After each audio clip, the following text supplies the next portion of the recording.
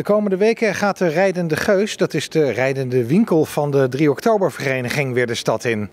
Ja, ja, zeker. Wij zijn het servicepunt van de 3 Oktobervereniging. En uh, mensen kunnen bij ons terecht voor vragen die ze hebben over het lidmaatschap. Of vragen over evenementen. Of wijzigingen in uh, evenementen zoals die nu heel veel voordoen. En we verkopen merchandise van de vereniging. Dat zijn al die uh, 3 oktober uh, ja, verzameldingetjes, hè? van die hebben dingetjes allemaal. Ja, ja, we hebben een aantal traditionele dingen altijd. Zoals bijvoorbeeld uh, witte 3 oktober sjaal. Maar we hebben ook altijd een paar, uh, elk jaar een paar nieuwe dingen die we erin gooien. En dit jaar dus ook? Dit jaar ook niet zo heel veel, want we, de penningmeester zit, houdt de hand heel erg goed op de knip. Maar we hebben er toch een paar dingen die dit jaar nieuw zijn. Zoals? We hebben een mooie uh, rode joggingbroek met een haring. En die past dan heel mooi bij de rode sweater die we al hadden. Ja. Met de haring. We hebben een muts. Ook met een haring. Uh, we hebben ovenwanten. Die zijn nieuw. En uh, wat hebben we nog meer nieuw? Uh... Dus daar moet, daar moet je niet de haring mee schoon gaan maken? Nee, dat nee. zou ik niet doen. Nee, dat zou ik niet doen. En mensen kunnen hier lid worden, hè? Mensen kunnen lid worden, ja. ja. Doen ze dat? Uh, vandaag nog niet zo. We zijn pas vanmiddag open gegaan. Maar we staan de komende tijd op nog veel meer plekken en we hopen dat ze het doen. Maar we hebben nu ook de website aangepast.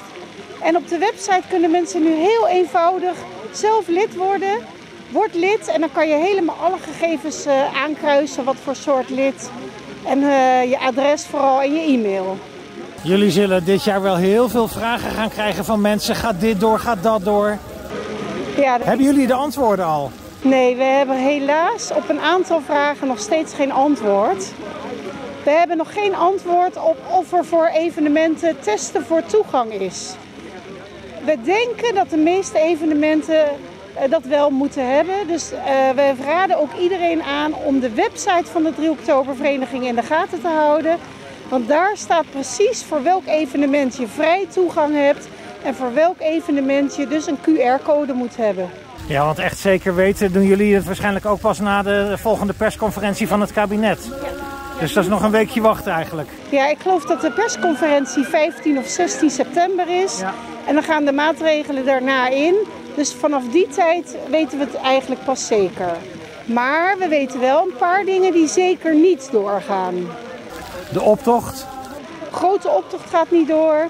De geuzenintocht gaat uh, jammer genoeg niet door. Dat is het evenement wat uh, vrij nieuw nog, hè? Dat wordt altijd gehouden bij de inschrijving van haring en, uh, en wittebrood. En die inschrijving, de fysieke inschrijving, die gaat ook niet door. Dus de mensen kunnen helaas niet in de rij bij de waag. Maar via de website ook? Dat kan allemaal wel via de website. En hier, heb ik begrepen, kan je kaarten krijgen, hè? Ja, we kunnen, uh, zeg maar, we zijn vandaag begonnen met de kaartuitgifte voor de seniorenvoorstelling. Die is in de Stadsgehoorzaal. En daar kunnen mensen vanaf vandaag en alle dagen dat de Rijdende Geus open is, zolang de voorraad strekt, kaarten komen ophalen. En die zijn gewoon gratis? En die zijn gratis voor lid. Kaart, één kaartje als je gewoon lid bent en twee kaartjes als je duo-lid bent. En kan ik ook lid worden en dan gelijk een kaart krijgen? Ja, dat kan. Nou, dat, is, dat kan ook. Ja, dat kan ook. En wat kost het ook alweer om lid te worden? Kost maar 7,50. Dus dat is nou ja een schijntje.